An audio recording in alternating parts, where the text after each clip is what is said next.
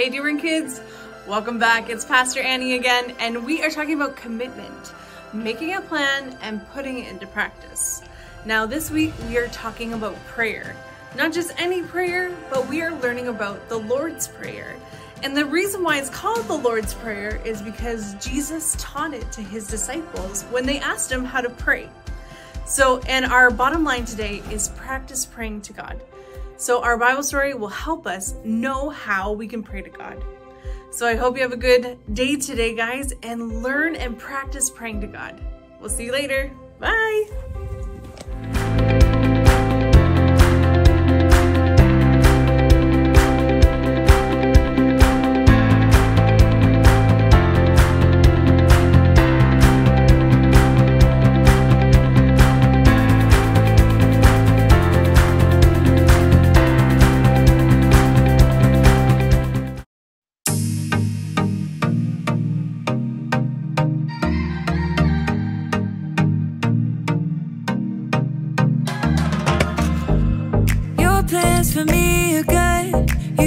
My future.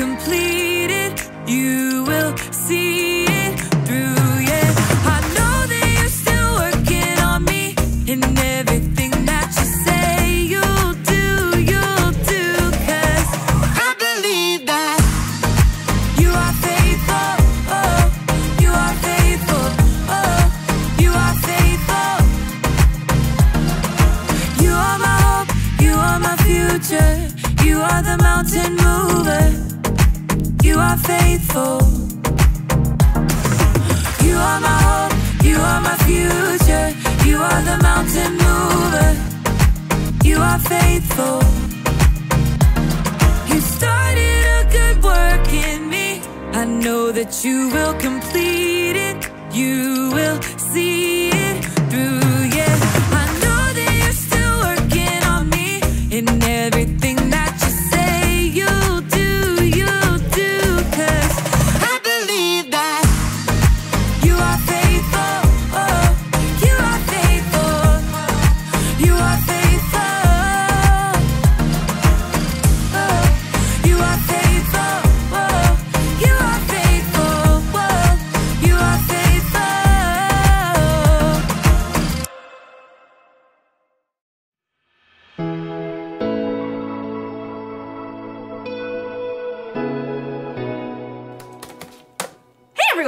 I'm Erica.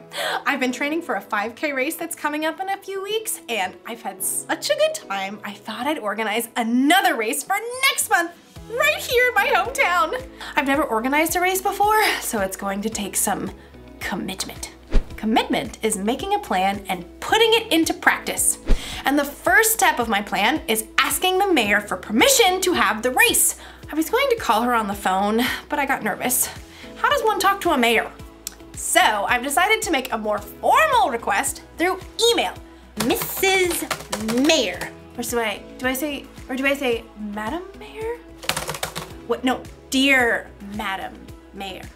No, I know.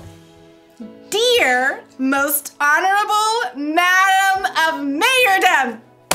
What if I offend her? What if I get it wrong? I don't want to mess it up. I know what I need. A thesaurus. This will help me find bigger and more important sounding words to use so I won't make a fool of myself. Okay, ready? My name is Erica.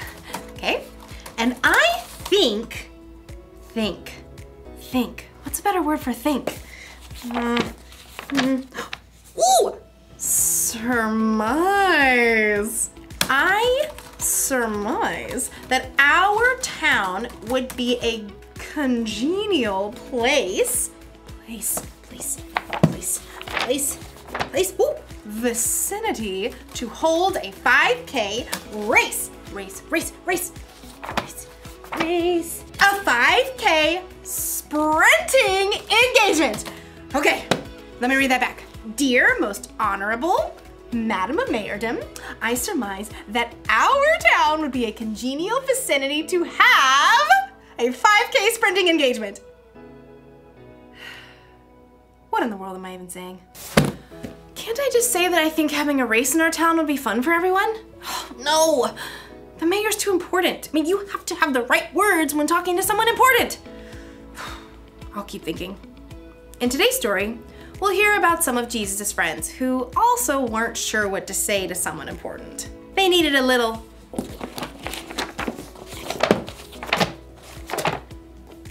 prudent assistance.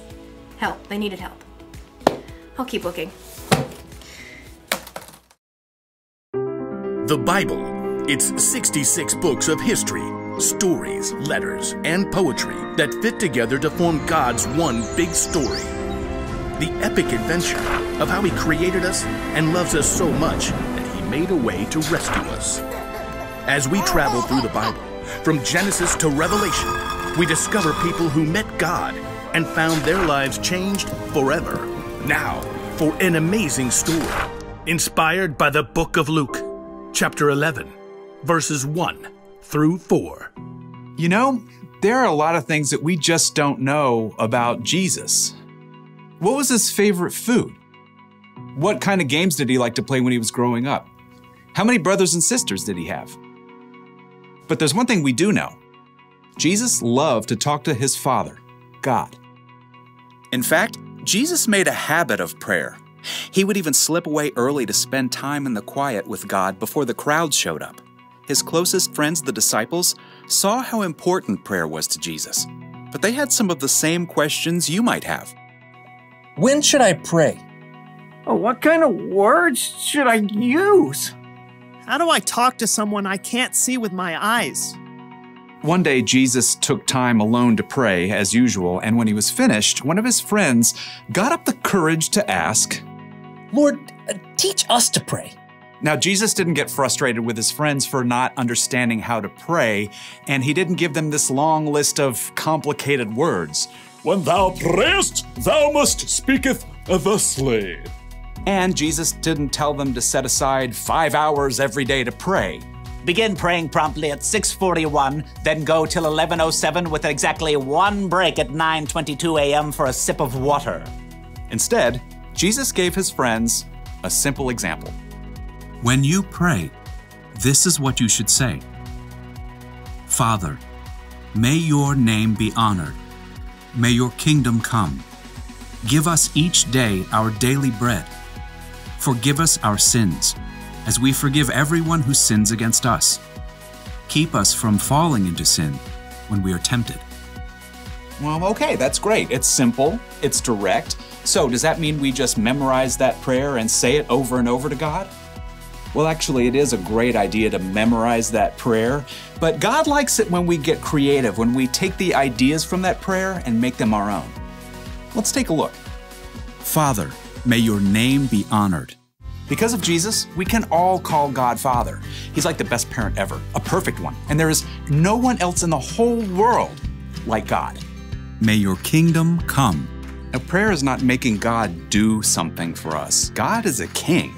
He made everything and everyone, and His kingdom comes when we show our love to Him by giving His love to those around us. Give us each day our daily bread.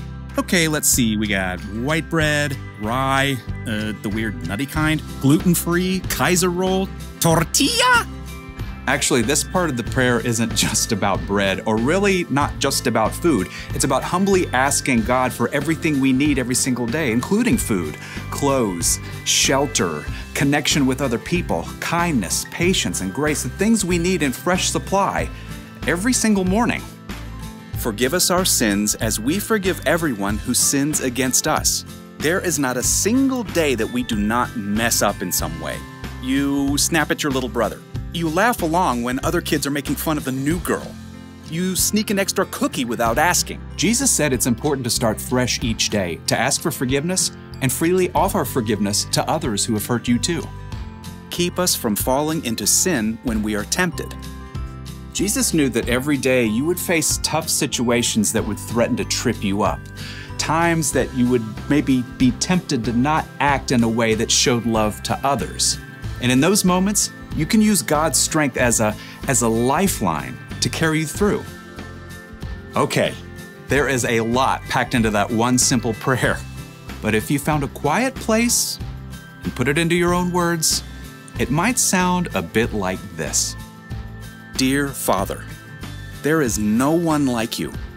Please help all of us to show your love to each other. Give us everything that we need to get through today. Please erase all the wrong things I've done and help me not to hold on to the wrong things others have done to me. Give me your strength to keep from doing anything that hurts you or anyone else today. In your name, amen. You can use these ideas from Jesus' prayer to talk to God anytime, anywhere. Whether it's 20 seconds or 20 minutes, it fills God's heart with joy when you choose to connect with Him.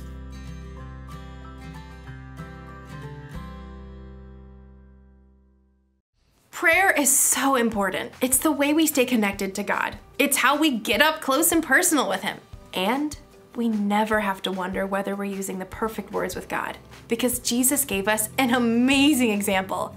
We can use these exact words when we pray to God Father, may your name be honored, may your kingdom come. But we can also mix it up and talk to God in our own words. Dear God, you are so amazing. I love how you made the stars, and fingerprints are so cool. You can talk to God anytime, anywhere about anything. You can tell him how you feel, what you're thankful for, what you're mad about, what you wish you could change. And if you really don't know what to say, well, you can tell him that too. All that truly matters is that you do pray to God, that you connect with him every day if you can. That's the one thing to remember. Practice praying to God. And the more you pray, the easier it becomes. Maybe it does take special words to talk to a mayor. I don't really know. But I do know that with God, you can just be yourself. So, God, I am so scared to talk to the mayor. Please help me have courage. Thanks. Amen. Okay. Dear Mayor, my name is Erica, and I would like to organize a 5K for our town. Would that be all right? Who needs a thesaurus? See you next time. Actually, I really liked this. Hold on one second. What's another word for fun?